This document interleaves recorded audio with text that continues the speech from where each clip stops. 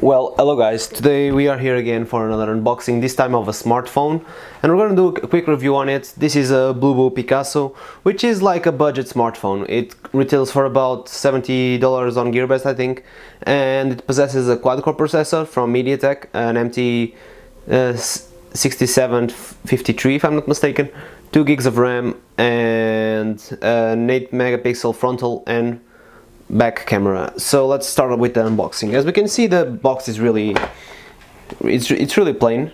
No, there's not much to it. Just says Picasso beauty is beauty is beauty so quite redundant I guess. But we're not here for that. We're here for the specs. And here we can see that that we have an empty an MT6580A quad core and like what I said 2 gigs of RAM and 16 gigs of ROM, uh, 8 megapixels of back and 8 megapixels in the front, and uh, we have an HD screen which is good for a cell phone of this price, and we have Android 5.1 which is also not bad. So let's start by opening it up, see what's inside.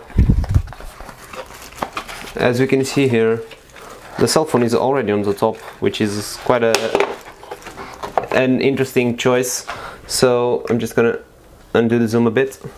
Here we have the cell phone on the plastic protector. We have a micro USB cable for charging, uh, uh, a, ch a, charger for the cell phone, which is oh, it's not that great. It's it's like um, uh, you can see here.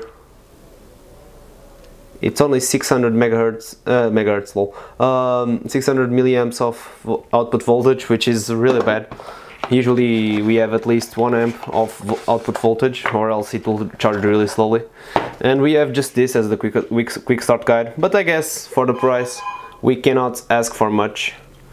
So let's get it started, let's go up for the phone and we're gonna go and see what's the, what are the aesthetics of the phone. So, well, this is the Bluboo Picasso, like I said. On the top we have here the flash, which is good for a phone of this price uh, once again we have the camera over here the speaker.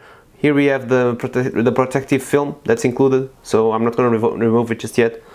Uh, the phone has has like uh, no physical buttons as you can see here.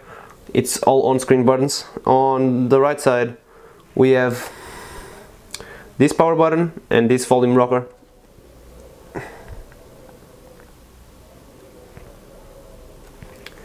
So I'm gonna try on the back side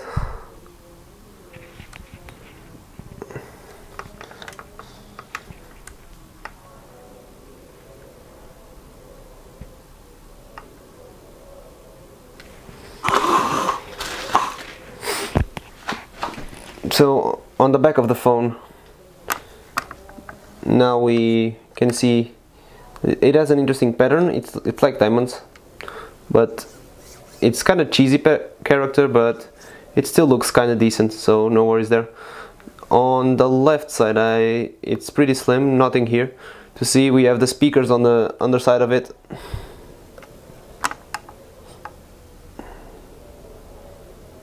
We have the speakers on the underside of it alongside a micro USB port for charging and we have a 3.5 millimeter uh, output on the top.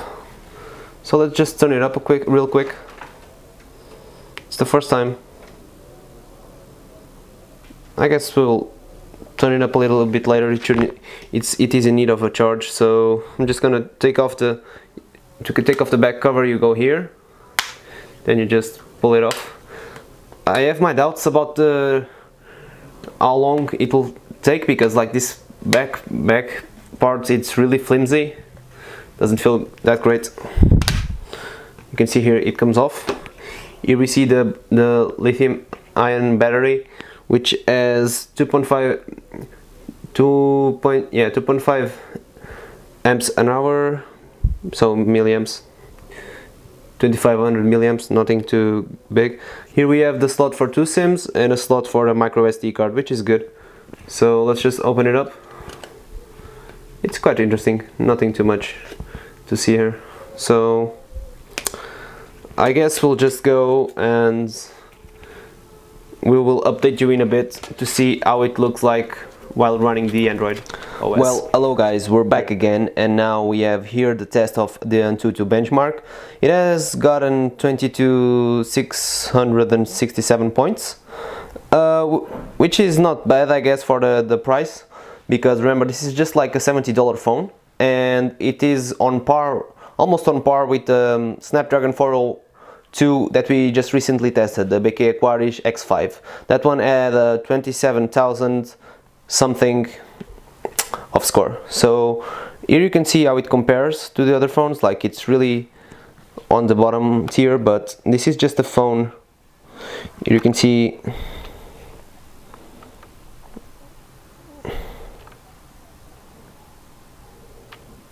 here you can see that it has just 22,667 points but it's still not that bad because this is just a phone that you buy for cheap and you just use it without having the fear to break it. So up next we're gonna show you a bit how it works.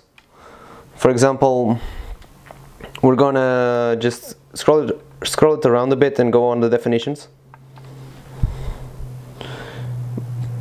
For example, if we go on the settings here you can see that the phone is running Android 5.1 it is the the Picasso model which is pretty interesting. Uh, I'm just gonna show you our real racing plays real quick and since this is the first time playing it we'll have to install some some stuff. So we'll be right back after this to um, after it has installed so I can show you a bit of gameplay. And after that we're gonna show you how the camera fares and how the video quality is. But for now since since it is still installing some stuff I can talk to you about the general usability. I mean for a phone that is just $70 it is pretty decent. I mean you don't expect an, ex an uh, absolutely flawless experience of the um, of the phone. I mean I guess that's that's to be that is to be expected because it's not that expensive so you need you probably have to spend a bit more if you want an absolutely flawless experience. This is just a good phone to give it to your kids because it is a pretty cheap phone it, you don't care that much if it breaks and it's still capable of going for into websites checking your email all all that kind of stuff also the battery duration, eh, I found it to be pretty decent. It lasts about one day to one day and a half with moderate usage, or even with using uh, data, mobile data, it, it still pretty, lasts pretty a pretty long time.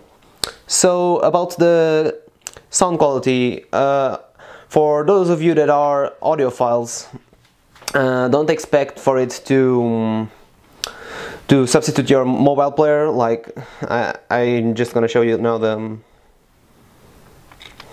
3.5 millimeter jack.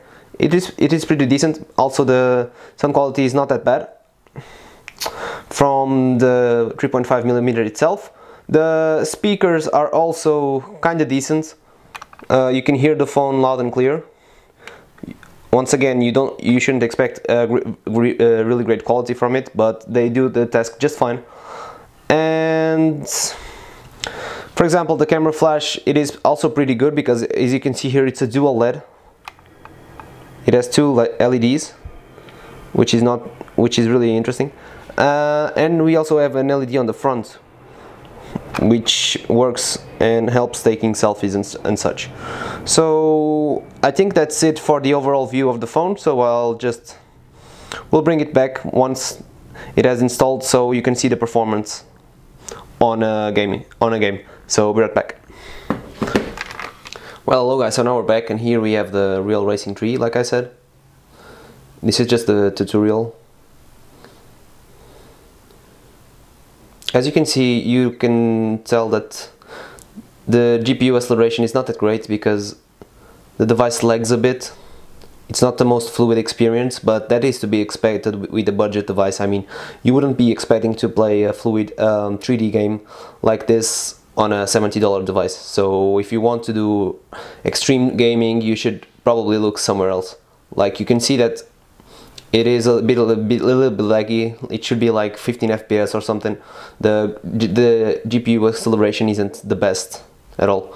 Like the Biki Aquarius that we previously tested did this test much better. So just gonna play it a bit more so you guys can see that while it is playable for for those of you that are a little bit more a little more a, bit, a little bit more demanding I would say it won't it won't cut the bill but I guess if you have any games that you want me to test on this device just hit me up and let me know and I'll try to give you a quick preview of it. So I'm just gonna go back now. I'm gonna go back after this so we can I'm gonna cut right next to um, some camera samples some video samples so you guys can see how, how good the camera is and then we'll go come back for some final thoughts so this is the our usual test location for the video. And as you can see here I'm also talking this time because I want you guys to try and understand if the microphone is good. So leave a comment in the in the description below to tell us what you think of the microphone. Uh, one thing I will also can also post pictures of the camera quality if you want. It's 8 megapixels as always it doesn't have the best quality in low lighting as it is, it is to be expected but it takes some pretty decent pictures on well lit places. So but still if you want some pictures I will be happy to help you and post them down post them out for you guys to see the quality. Well, so now we're back and the last thing I want to tell you before concluding this review is to show you that it has about 12 gigs of space available for the user and I really enjoyed like uh, using this phone because it's a device that you can use without caring that much. You usually are always like you need to be really careful with more expensive devices because you don't want to break them and it just, doesn't happen the same. You can uh, have a much more carefree usage with this Blue, Blue Picasso and it provides a decent experience I guess. It, it will be like a perfect gift for, for those of you that have someone that is currently getting into the Android device because it is pretty decent. It isn't the fastest, it isn't the cleanest, it isn't the most pretty looking device, but it does what it is meant to do, which is being a, a, a pretty decent budget phone. And I think it's one of the best for the price for about $70 this is just like a must-have. Uh, and anyway if you um, have any questions about this phone or want me to help you with anything just feel free to leave a comment below and I'll try to help you with anything. And in the meantime like this video share it with your friends because it is you guys that make Inside Geeks grow. See you on the next video guys